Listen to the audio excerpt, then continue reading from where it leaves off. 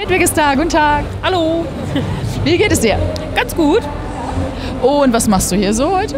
Ich bin hauptsächlich am Stand von unserem Studio und helfe da so ein bisschen oder lauf rum und guck mal, wen ich so alles wieder treffe. Und? Hast du schon viel getroffen? Ja. Man ist auch mehr unterwegs, als dass man am Stand ist vielleicht, aber Das ist ja für uns gut, weil dann können wir uns hier mal treffen und ein bisschen quatschen. Ähm, hast du dich denn auch bei Convention auch schon tätowieren lassen mal? Auf dieser nicht, sonst hätte ich es wahrscheinlich gesehen. Ja, also auf dieser nicht. Äh, ich glaube, in Berlin war das, genau. Da hat äh, Jan meinen Oberschenkel hinten gemacht. Ach so, aber das hätte er, also jetzt mal blöd gesagt, das hätte er ja jederzeit machen können. Warum hat er es unbedingt auf der Convention gemacht? Ja, das hätte er, aber er hat ja nie Zeit und da hatte durch diesen, da war das Wetter so unglaublich warm und da hatte eine Kundin abgesagt und dann so, ja okay, dann bin ich jetzt mal dran. Ja, ja, ich habe das schon öfter mitbekommen, dass so Tätowiererpärchen, da denkt man immer, ja, die haben ja immer an Zeit und können sich immer gegenseitig tätowieren oder der eine den anderen, aber es ist genau das Gegenteil der Fall. Also ich muss mir auch selber Termine in den Kalender eintragen, damit ich irgendwie mal dazwischen komme. Aber man kann sich ja auch nicht beschweren. Das ist, ist völlig in Ordnung. Aber äh, du gehst, äh, gehst du auch woanders hin oder musst du jetzt immer... Nee, also ich äh, habe eigentlich immer nur die Bilder im Kopf, die ich gerne haben will, suche mir dann danach den Tätowierer, wo ich meine, für meinen Stil oder das, was ich gerade im Kopf habe, ist der und der gut und dann soll der und der das machen. Das ist also es wäre ja auch schön blöd, wenn Jan sagt, nein, du darfst nur von mir tätowiert werden. Das wird er auch nicht tun. Er hat ja auch einen bestimmten Stil, ne? Ja. Ähm, was war denn dann das letzte? War das oft? Nee, das ist noch nicht schon so lange her, sondern du hast dich doch bestimmt dazwischen nochmal tätowieren lassen. Ich glaube auch. Äh, jetzt weiß ich gerade tatsächlich nicht, was das letzte war. Also auf jeden Fall haben wir meinen Rücken gemacht. Der ist noch nicht so alt. Und danach kam, glaube ich. Also es tut mir leid, falls ich jetzt lüge, aber ich glaube, danach kam erstmal nichts. Nee, Und was hast du auf dem Rücken? Ist das ein großes Rückenbild oder äh, auf den Schultern oder nur im Nacken? Oder? Noch ist es nur der obere Rücken. Ich habe das extra fürs Hochzeitskleid so. Das hatte einen offenen Rücken und äh, ich habe jetzt Jan und mich auf dem Rücken in so ein bisschen Barock. Und er, Warte mal, warte mal, das hat Fluine gemacht, ne? das, und er ist ein bisschen Vampir und mit Kragen und allem und äh, ein Schloss nach oben in ganz viel Black. Und nach unten hin haben wir halt noch nicht weitergemacht, weil das auch ein bisschen unangenehm ist. So getrickst, genau bis da, wo man sieht im Hochzeitskleid. Ja gut, aber das musste natürlich, also jedenfalls der Stelle, die man sah, musste man ja fertig sein für die Hochzeit. Das Problem war vorher, war es halt unglaublich schrecklich. Also es ist auch ein Cover-up. Eigentlich sollte da Superman und Wonder Woman auf dem Rücken sein, aber das wurde leider, äh, also ja, es, ich hätte mir überlegen können, ob ich es laser oder ob ich es cover und deswegen ist es jetzt einfach angefangen gecovert. Oder der Anfang des Covers ist gemacht, weil das ging gar nicht. Das war schon nicht schön. Ja, der Rücken ist äh, sehr, sehr umfangreich, das stimmt. Ähm, warte mal. Achso, ja, jetzt weiß ich das wieder. Äh, Vampir sagtest du gerade, also er ist auf deinem Rücken ein Vampir. Du hast ja auch äh, spitze Zähne, ne? Ja. Aber ist das äh, auf, aufgeklärt oder wie ist das? Das sind Vollkeramikkronen. Also mein eigener Zahn wurde komplett auf den Nerv runtergeschliffen und das sind wie normale Kronen, die Menschen irgendwo hinkriegen, habe ich die halt in Vampiroptik ein bisschen länger vorne. Aber das war doch auch nicht schön, oder? Nein. Doch. Also ich hasse Zahnschmerzen. Es gibt keine schlimmeren Schmerzen als Zahnschmerzen. Und das der war schon, also ich war auch beim Zahnarzt, hat einen Zahnmediziner dann auch angefertigt und alles. Ist nicht so mein bester Freund geworden, der gute Herr. Also er hat das super gemacht, aber brauche ich nicht nochmal. Aber wie kamst du denn darauf? Also wenn du schon vorher sagst, meine Zähne sind so empfindlich oder ich mag das nicht so gerne und das dann zu machen. Naja, ich wollte es ja haben. Das schön sein, wir müssen leiden. Ja. Leider ja. das gut wollte ich haben. Sehr cool. Äh, und die Ohren hast du auch gespitzt. Ja. Wie macht man das? Äh, prinzipiell wird, also die Technik an sich kann ich dir gar nicht ganz genau erklären, weil mache ich ja nicht. Ähm, und du hast hier so ein bisschen Knorpel, aus, also du hast quasi den Hautlappen, wo die Ohrfalz ist, der bleibt noch da. Und dann nimmst du da so ein bisschen Knorpel zwischen weg, dass du halt die Form kriegst und dann wird er wieder dran genäht. Also so tüt, äh, in ganz kurz erklärt und sehr stumpf erklärt. Macht wahrscheinlich auch Spaß. Da habe ich nichts von. Also das war, die Abheilung war relativ äh, relativ easy. Also es ist natürlich eine Narbe und es ist natürlich auch geschnitten worden, das merkt man natürlich auch. Ähm, und ne, ein bisschen Bluterguss und alles hast du auch. Aber es war nicht so schlimm, wie ich es mir vorgestellt habe. Also tatsächlich ging das in der Abheilung. Und ich bin schon ein bisschen schwierig, also meine Wundheilung ist ein bisschen schwierig. Von daher war ich da eigentlich ganz zufrieden, dass da nichts Schlimmeres passiert ist. Wie kamst du denn darauf überhaupt so? Ich sag mal, Tattoos sind ja inzwischen relativ, ja, fast schon normal, ne?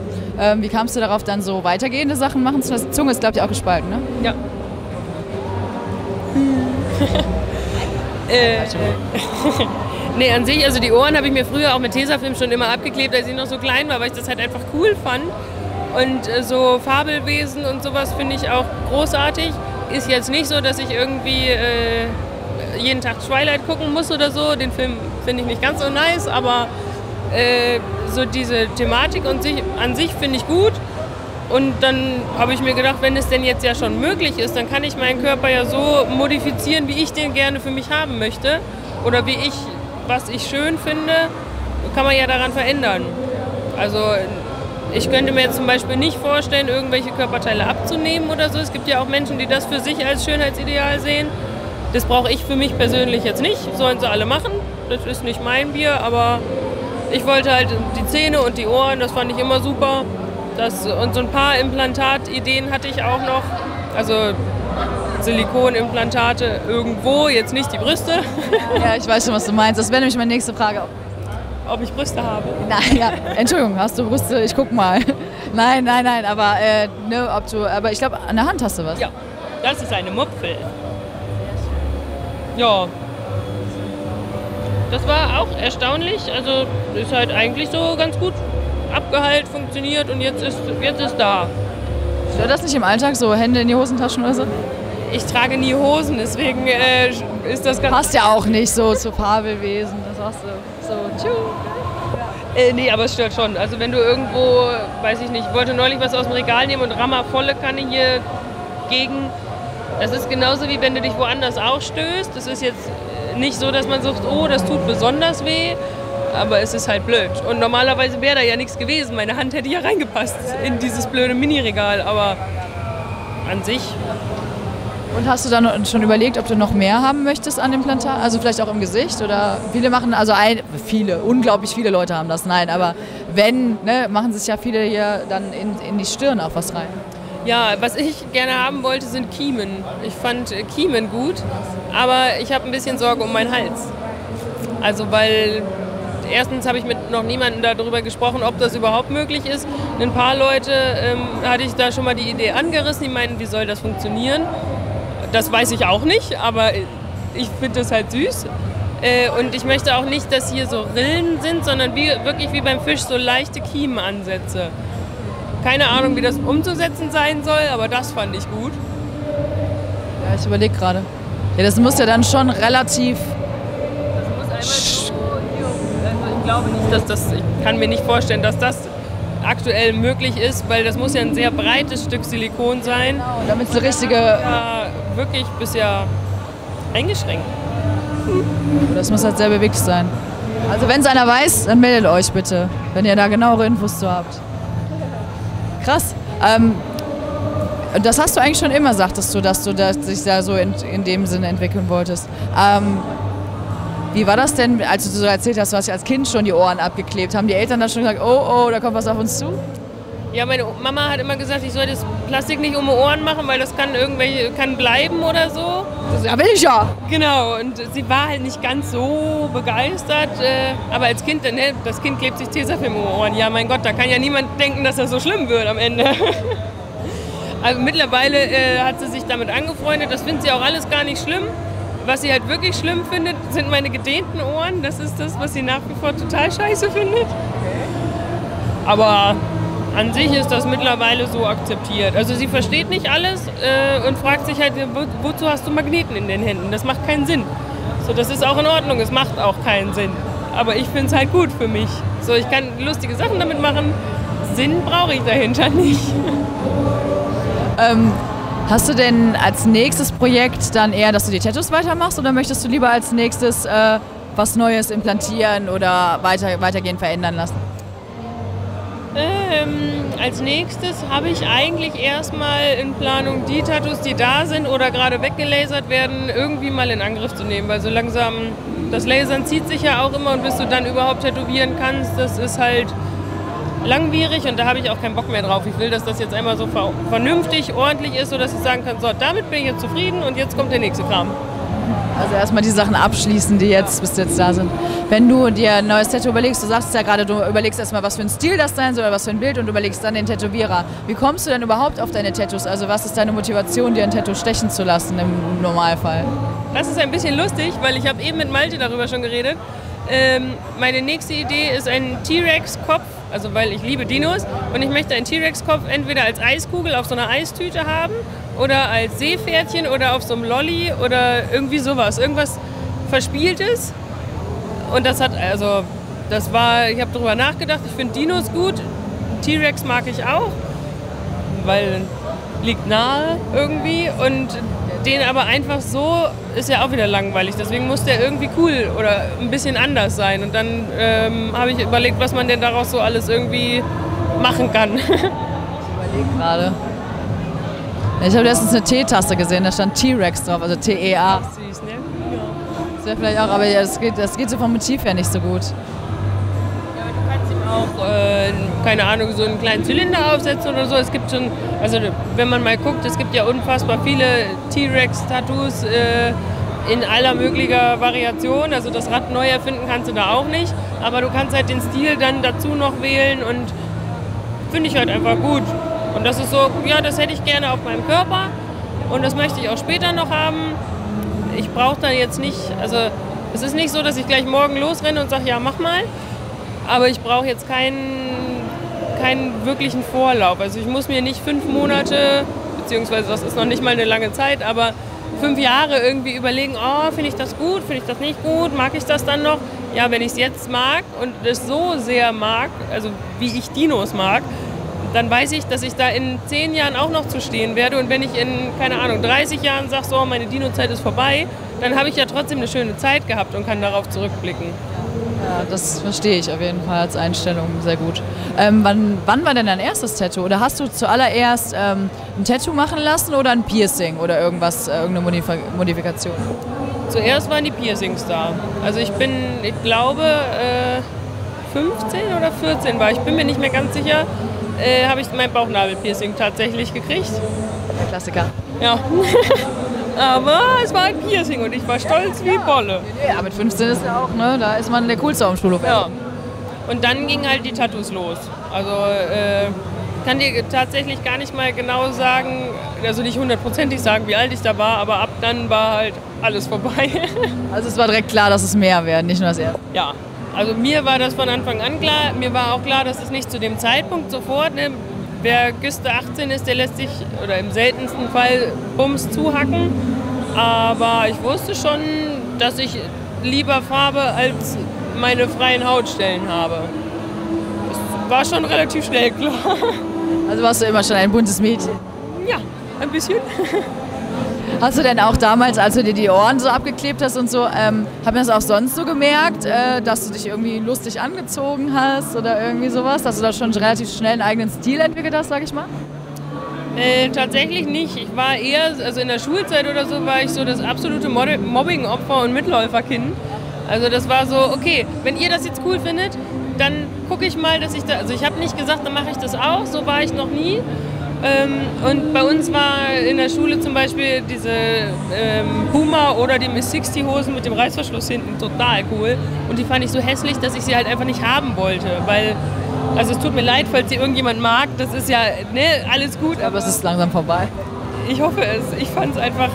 Und das, jedes Mädel aus meiner Klasse hatte das. Und ich halt normal irgendwie Hose von, keine Ahnung, HM, C&A, gar nichts. Ich weiß es nicht. Äh, und es war mir tatsächlich einfach zu blöd. Also bei manchen Sachen habe ich halt dann geguckt, okay, ja, wenn die jetzt alle irgendwie das und das tragen, keine Ahnung was, fällt mir jetzt kein Beispiel ein, dann habe ich schon geguckt, nee, kann ich da nicht eher mithalten, damit ich nicht so alleine auf dem Schulhof bin. Aber ich war schon eher so ein bisschen Außenseiter und äh, ja, es haben auch viele Leute oder viele Kinder gerne auf mir rumgehackt. Aber Kinder sind halt fies manchmal. Was sagen die jetzt, wenn die dich heutzutage sehen? Also hast du das mal, die, die Situation? Ja, es ist sehr lustig. Also ähm, ich persönlich habe ich, glaube ich, seitdem keinen mehr gesehen, weil ich weggezogen bin aus meiner Heimatstadt. Äh, aber wenn man dann bei Facebook mal mitbekommt, oh wow, das bist du jetzt oder so siehst du jetzt aus und wow, du bist ja, machst jetzt ja das und das und das und das ist ja total cool und erzähl doch mal und ne, ne, ne. Und das ist dann, das Blatt hat sich halt komplett gewendet. Die sind meinetwegen mit 18 nach dem Abi dann oder wie auch immer in der Ausbildung oder haben studiert und sitzen da halt jetzt so fest, würde ich mal sagen. Und ich mache halt das, worauf ich Bock habe. Ich mache das so, wie ich das möchte. Ich, hab, bin, meine, also ich bin selbstständig, habe meinen Laden oder wir haben unseren Laden. Äh, ich kann mit den Fotos weitermachen, ich kann mich tätowieren lassen, wie ich das möchte. Und niemand schreibt mir vor, bis wohin mein Rock hängen muss auf der Arbeit oder irgendwie sowas. Und ich würde mal sagen, dass das manche schon echt beeindruckt, was aus mir geworden ist quasi. Also das merkt man auch, das sagen die einem auch. Und es ist schon ein bisschen lustig, wenn man sich das so überlegt, wie das früher war. Ja, du sagtest gerade, was du alles so machst. Ähm, auf Fotos bist du ja auch öfter mal zu sehen. Ja. Möchtest du da ein bisschen erzählen? Wann ging das los? Äh, das ging tatsächlich 2012 los. Ähm, da war ich bei Jens Burger und der hatte gefragt, ob wir nicht ein, äh, eine Fotoreihe machen können. Und ja, ab da ging das so peu à peu los. Mal mehr mal weniger zeitintensiv, weil man das ja nun mal auch nur als äh, Nebenbei-Tätigkeit so macht. Aber das würde ich mal sagen, ist ganz, ganz nett. Also es ist sehr, es macht mir unheimlich viel Spaß. Ich finde es super. Und ich habe dadurch so viele tolle Leute kennengelernt. Du kannst ja wirklich rumreisen und dann waren wir jetzt vor drei Jahren in New York. Das ist halt schon ziemlich cool, wenn man einfach so ein bisschen rauskommt Gut, man ist auf den Bildern niemand anders, das bin ja ich. Aber ähm, irgendwie, wenn man die dann sieht und sich das dann so anguckt, das ist schon sehr schön. Also bestimmte Facetten einfach von einem selbst, so würde ich das vielleicht sagen. Ja, das, ja.